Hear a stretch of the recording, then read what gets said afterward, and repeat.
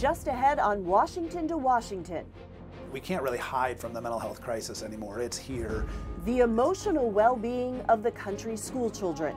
Children who are depressed and anxious, who are being bullied, who are afraid, do not learn. How schools are responding.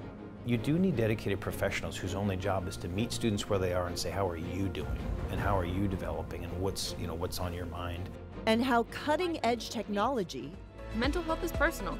Could change the way students get help for stress and anxiety. Plus, one family turns their heartbreaking story into action to help others. It's such a horrible pain every day. We don't want to see anybody else go through it. From the capital of Washington State to the capital of the United States, this is Washington to Washington.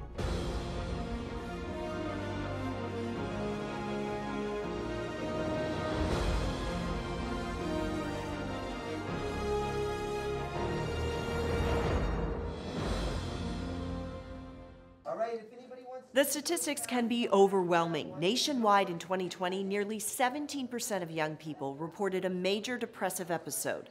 A 2021 survey of Washington state 12th graders revealed 45% felt depressed. Suicide is the second leading cause of death in the state of Washington for young people.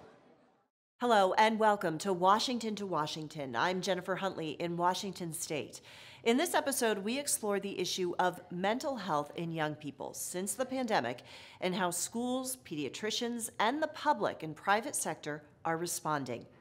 But first, we begin with one family's story and how they are hoping to make a difference after a devastating loss. He was a truly happy kid, um, always smiled. Jenny and Steve Douglas could talk about their son Drew endlessly. We're happy to talk about him because we loved him that much. He was a very big part of the family. Very kind, lots of friends, um, liked sports but wasn't really competitive. He just wanted to be part of a team, but just truly loving kid. The 14 year old loved to golf, fish, and do yard work around his family's 21 acre property in Chehalis.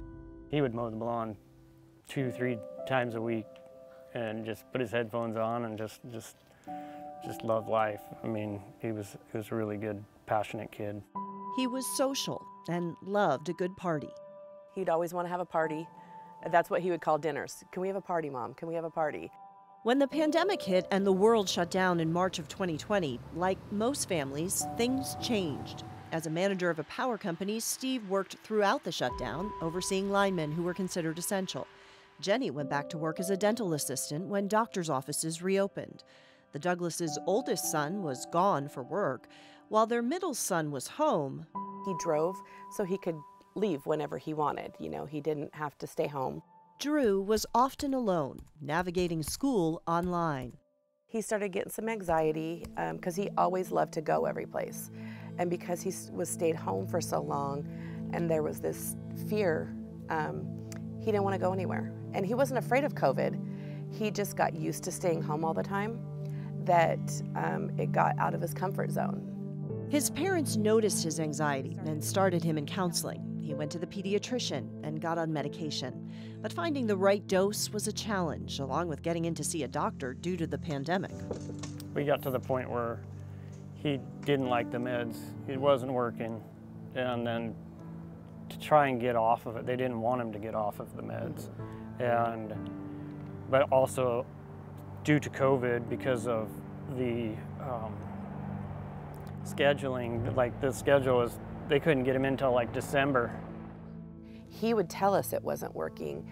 He, we started seeing physical signs of anxiety. He would shake, I mean, physically shake. Um, just, he, he wouldn't go to sleep. He would stay up, he would struggle to go to sleep at night. Drew stayed on the medication while the family worked with doctors. Yeah, and the hardest thing for me is that every night, every time that he needed a refill, I'm the one that listens to the pharmacist of all the symptoms or you know that could happen and suicide was one of them. I'm like that's not my kid you know i mean he's too happy. There's there's no way. But the unimaginable did happen. Drew took his own life on september 19th 2021 he was 14 and a half years old How much do you think the pandemic played a role in his mental health? Was that 90%. I would say 90%. When we interviewed them on a hazy day outside their home with a view that stretched for miles where Drew loved watching the sunsets, it had only been a year since his death.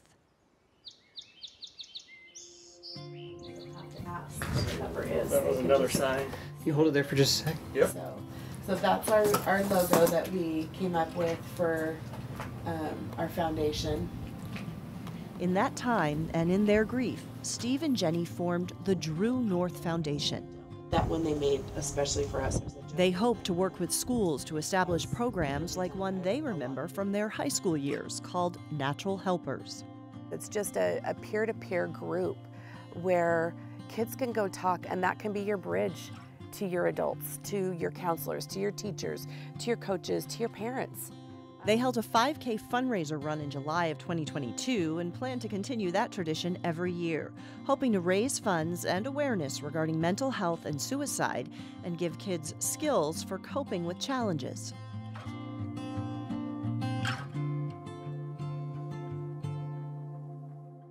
We just loved him like our own. Angela Bennett and Lisa McKay are two board members of the nonprofit and friends of the family. They also work in the behavioral health field and know all too well the struggles of young people during the pandemic. Another reason why they didn't hesitate to join. You know, being a part of trying to help and showing these kids that we love them and that there is choices that we can make and we can help. So I really want to be a part of that. I'm a certified mental health first aid instructor, and I would like to see every coach have to have it. I would like to see every paraeducator have to have it, just like a CPR card. Mental health first aid is just CPR for mental health. The Douglases wish they had had a better idea of how serious Drew's struggles were, suggesting that therapists could give numbers to parents, much like the pain scale, without divulging private details discussed in therapy. But their main mission is to include as many people in the discussion as possible, something Drew would have wanted. It's such a horrible pain every day. Um, we don't want to see anybody else go through it. So I think that's what kind of keeps us strong is that um, I, we just don't want to see anybody go through it. And it's hard. I mean, it's hard every day. If you or someone you know is in crisis or at risk of suicide, help is available. The number for the National Suicide and Crisis Hotline is 988.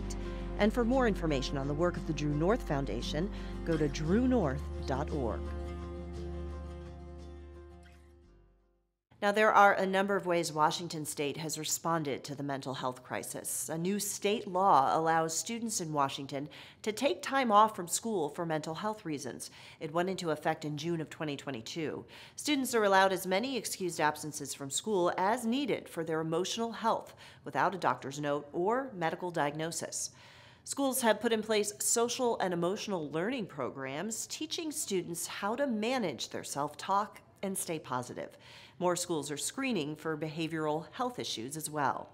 And perhaps most key to helping students is accessing care on site in school, especially for students who don't have primary care providers that can diagnose mental health issues. There are now about 50 school based centers in Washington state, with more to follow. In 2021, Governor Inslee signed a bill to increase the number of school based health clinics. Many are partnerships with community health care organizations. Recently, we spoke with Washington State School Superintendent Chris Reykdal. What we do in school isn't just about math and science and English and social studies. It's about how are you developing and how do we quiet that noise long enough for you to discover who you are. That's a lot on schools. It is, and getting more complicated every year. Here's some of our conversation regarding the role of schools in the social and emotional health of students. Mental health is one issue facing students of all ages. It isn't new. Students have struggled with social media and now the pandemic, gun violence, you know, contribute to all kinds of mental health concerns. Can you give us a sense of just how serious this is? I mean, are we at a tipping point? There's such historical context needed here. So here's what I would say it's very serious. I think it's been serious for a long time, well before the pandemic, and I think it would surprise people to know that it's been with us and young people for decades. here's why I say it's so important historically. If you can imagine 50 years ago, only 30 or 40 percent of, or 30 or 40 percent of our students didn't get past the eighth grade. As they were in their most formative developmental time, those who really struggled just disappeared. They went into the labor market. We had an ag economy, a manufacturing economy. They, they just left. We keep 85 to 90% of our students now with us through the age of 18. We have the highest graduation rates on record. So now the school system sees what I think has always been invisible. Um, and now they're doing it in a moment of pandemic. They're doing it in a moment when all of the crises of the world land right in front of a student almost instantaneously through social media. There's a barrage of negativity because it sells so well. It's so predominant. It's such an easy sort of thing to fall into. That's what's different about this generation is they can't escape it. And that's why we've got to increasingly think about what we do in school. What have you learned from counselors and medical professionals and students and you know teachers over the past few years about this crisis? That there's a better science to it. So I think there's a hopefulness about, hey, this isn't something that we have to sort of break down um, in, in, terms of the systems and say, what do we do? We know how to do this now. There's intervention teams, there's early screeners, there's the ability to actually put a science and a mental health uh, component to it. And then the partnerships that we've created in school districts in the community are everything. An analysis uh, this year by a think tank, Future Ed, showed that the majority of the schools in the survey were using federal relief money for academic recovery, staffing and facilities and operations, and only 7% of funding towards mental health. This is nationwide, though. Why do you think the trend is showing, at least right now, that schools are not investing as much in mental health from the federal angle? I think there's still a lack of sophistication about the importance of that as a precursor to high quality academics. We've spent 20 years in this country on the false belief that you didn't really need to do as much of that if you just focused on math and science and English language arts and test kids and test kids and test kids. They'll get confident when they see their academics improve, and it's actually the opposite of that. If you really address their mental health needs and their social emotional needs, and their just natural developmental needs, if you take care of that, including nutrition, uh, then you see the academic gains. So what happened in a crisis? Everyone went to their old playbook of throw money at tutoring and get their math scores up, which is not a bad thing. It just is not the right sequence if you're thinking long-term sustainability of these young people. What role do you think uh, schools should play, though, in the mental health of students? Well, again, we are most likely to be um, observers and screeners of, of, first observation, right? We, we, we, have these young, amazing people for five to seven hours a day, so we get to see it more than any clinician is going to see it. But there's only so far we're going to go before we say, okay, now that we've identified this, let's work with families, let's work with um, caregivers, um, and let's make sure we have a network in the community that can then take the handoff and do the deep dive of supporting that individual. So we play a big role throughout it. We just aren't going to be the primary deliverer of mental health supports. Do you think students are more willing, though, to talk to educators or to uh, close confidant in school instead of their parents? I will say, having my own teenagers, they are much more likely to talk to each other. Uh, but when they have a trusted adult in school, it can be a massive change, which is why we work so hard on the counselor idea who's somebody who isn't hounding you for that math assignment or that chemistry lab, right? Our teachers are amazing and, they, and they've got a lot on their plate, but you do need dedicated professionals whose only job is to meet students where they are and say, how are you doing? And how are you developing? And what's, you know, what's on your mind? Um, so you got to have those support systems in place. When Governor Jay Inslee declared a youth mental health crisis in Washington state in March of 2021, he noted pediatricians were seeing a significant increase in young people with mood disorders such as anxiety and depression, as well as self-harm. We learned pediatricians are often on the front lines of the crisis, and many are finding new ways to treat children who come in for routine visits but show signs of needing more help. Dr. Brad Stevens has been a pediatrician in Olympia since 2008. Over those 14 years, he's noticed a significant change in the mental health of his patients. We were seeing more anxiety, more depression, and we were feeling that pressure before the pandemic hit. And then the pandemic hit. Since 2020, the sheer number of kids struggling increased. What we're seeing locally is we're in a mental health crisis with our kids. And uh, and I think the reality of the situation is, is we don't have enough therapists to cover the need that we currently have. Dr. Stevens' practice in Olympia is responding in a number of ways. First, they started screening more kids for depression and suicide. Every child 12 and up gets screened at well child visits. They also expanded screening for other stressors in families that can lead to mental health issues whether it's like food insecurity, housing insecurity, you know, addiction issues, domestic violence, and we're going to sort of expand those screenings as well so we can provide help to those families. Finding who needs the most help is crucial, but getting them help isn't always easy. It can take months to be seen by a therapist. A few years ago, Dr. Stevens' pediatric office received a federal grant for a behavioral health integration program. I'm Tina Washington, and my title here is a behavioral health provider. That's where Tina Washington comes in. I target what their immediate needs are. Washington is a licensed mental health therapist who is energetic, positive, and caring. She started in the behavioral health program at Olympia Pediatrics in March of 2019, a full year before the pandemic.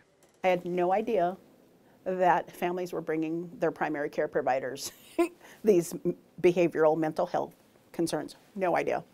Was overwhelmed. As the needs grew during the pandemic, Tina was able to provide therapy to patients who were screened in office and show signs of anxiety, depression, and other mental health problems.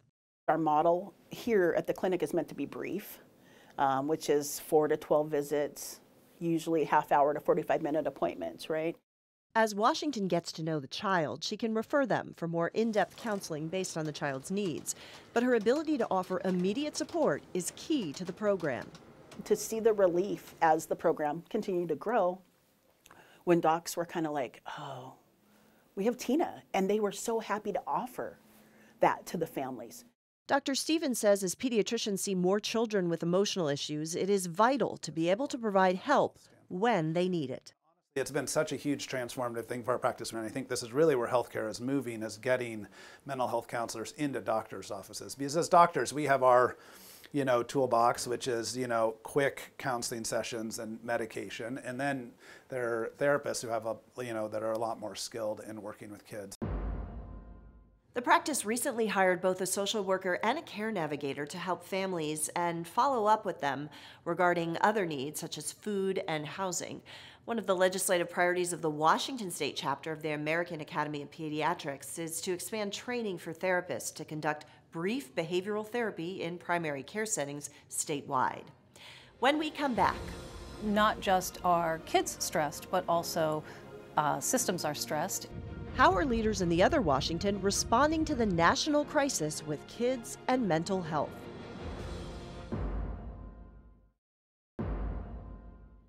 Welcome back. According to Donors Choose, an online nonprofit that allows people to donate directly to public school classrooms, teacher donation requests to help children with their social emotional learning and mental health have nearly doubled since 2020. It's clear teachers are seeing a need and asking for help. So, how is the federal government responding? And how soon might schools see funds to help pay for some of these needs? Kids are struggling. Dr. Kathy Minke knows how serious the issue of mental health is for students. She is the executive director of the National Association of School Psychologists, the world's largest organization for the profession, representing more than 25,000 school psychologists around the world. While 25,000 may seem like a lot, workforce shortages were an issue before the pandemic and have only gotten worse. Our standards recommend uh, one school psychologist for every 500 kids, and we know that in most areas of the country, we're not achieving that ratio. In fact, the average nationally is around 1 to 1,200, and in some places it can be as challenging as 1 to 5,000. And clearly, when you have so few school psychologists trying to do the work of supporting so many kids, it, it becomes much more difficult to do that. We want to sort of apply broad brushes to this, but it's really individual students, individual children, families, teachers, and schools, we're all impacted differently. The School Psychologists Association worked with Congress and the Biden administration to help pass the bipartisan Safer Communities Act. Over the next five years, $1 billion will go toward increasing access to mental health services in schools. Schools are applying for the first set of grants now, which total $280 million. We have two grant programs that are designed to both increase the pipeline of school psychologists and other mental health providers by improving access to training, um, expanding the training programs, expanding uh, supports for students as they go through those programs. These investments are down payments for the future. The U.S. Department of Education is overseeing the distribution of the funds. The science of learning and development says that when students feel a sense of belonging in their school, they're supported for their mental health and well being, they're better able to learn. School psychologists help with early intervention in mental health, screening, and support for teachers in the classroom. Minke is hopeful the federal money will mean an increase in the number of school psychologists nationwide. We also know that this is not a quick fix that we need sustained investment in public education, we need sustained investment in um, community and school-based mental health supports in order for change to actually um, occur. The federal government may be focused on paying for the training and hiring of more counselors and therapists, but there are also innovative private companies in the technology sector that are looking to reach young people where they are online. Mental health is personal. That's why Neolth enables students to learn from the privacy of their own phone or computer. When you think about therapy, chances are technology doesn't come to mind, but it could be the way all of us get help for our mental health in the future. A new app called Neolth is a way to access care in schools and communities through an online portal. Neolth's not just for students. School counselors can choose students to monitor from our healthcare provider platform. Counselors get to see the impact of our program by tracking students' engagement, as well as their stress and health symptoms over time. Launched during the height of the pandemic in 2021, Neolth allows students to learn directly from mental health experts on everything from managing stress to building healthy relationships. We provide stress and mental health support to teens via a mobile application. Dr. Katherine Grill is the company's CEO and co founder. Growing up, I was surrounded by mental health from a very young age. I had friends and family members who had serious mental illness who were not able to get access to care due to financial reasons, due to stigma, and just really saw how devastating that could be. Grill went to school to study as a therapist and worked in psychiatric care. She was struck by the inequities in care. So she went back to school, this time to get a doctorate in neuroscience. I was interested in how could we build and validate new health programs and how could we think of innovative ways to increase access to care. And that ultimately led me out to California, to Silicon Valley, and looking at technology systems and how they could really support increased access to mental health services for young people. Dr. Grill and her husband started the company right before COVID. As they pitched investors, it wasn't always an easy sell, but Grill knew there was a need for a support system that could reach young people in a different way. The important thing to know is that it's self guided, so it's not telemedicine. Um, it's really meant to educate young people about health, to reduce stigma, and teach them stress management techniques. After downloading the program on the App Store, students take a survey on their emotional well being. They are then matched with specific resources for their unique health needs. So that might include a video series from doctors or even other students talking about their lived experiences with mental health, lots of relaxation practices or SEL kind of skills that they can build. Uh, they can even join live stream events throughout the month with doctors and other students to really connect and learn about mental health. The company worked with data scientists at Carnegie Mellon University to build a natural language processing system. The system can pick up on words used in the app that might signal the teen is in crisis. So in real time, we can refer them, whether it's back to the school counselor or back to something like a crisis text line. We can connect them to those free kind of 24 7 resources just to make sure that they have the help that they need. Grill hopes to make it easier for young people who might not feel comfortable reaching out to have a place to learn and get help. There are so many barriers to accessing mental health care. And imagine if, in order to get that care, you had to climb all the way to the top of Mount Everest, and like that's where the mental health resources were it would just be very tricky to do. In just a year's time, the program has grown to more than 350 schools throughout the U.S. and 20 countries in Asia. Hi, my name is Dr. Azizi Seixas. Dr. Azizi Seixas is an associate professor at the University of Miami's Miller School of Medicine and the founding director of the Media and Innovation Lab. He is studying the use of the app by about 7,000 Florida schoolchildren. Over the course of a year, researchers will monitor kids who are using it to see if it increases their social emotional learning skills. Will you be able to, over that year, sort of pinpoint the students who need it most? our hope is that this study will allow us to be able to identify as well as navigate kids to get the right mental health care. Dr. Seixas says it could um, also help with future treatment by identifying which children are at risk through language they use on the app. Based on the artificial intelligence embedded in the Neolth program, we might be able to start identifying risk earlier based on patterns of answers. Seixas says if Neolth is successful, it could revolutionize healthcare and expand the use of digital therapeutics as treatment options. I know there's a huge push to get many of these digital solutions to get reimbursement. So if you're on Medicaid or Medicare or if you're low income, then you don't have to pay out of pocket. and that would create more access in communities that are typically underserved. Do you think that the private sector is better equipped to handle new innovations, at least in mental health? I think they're the best cases of how we really innovate and do so at scale nationally is when the private and public sector come together to collaborate. I mean, government can be really great at things like funding, but also setting up safeguards and regulations to make sure, you know, things around data privacy, that those are happening in an appropriate way in the private sector. Dr. Grill is hopeful when she hears young people talk about their mental health, breaking the stigma and being willing to accept help, which makes listening to their needs even more critical. Just understanding and how they use technology, we can then change up the mental health system, add in different services, uh, and layer those with clinical supports. And that's really our way out of this crisis. The Neolth app is funded through private investors and grants from universities.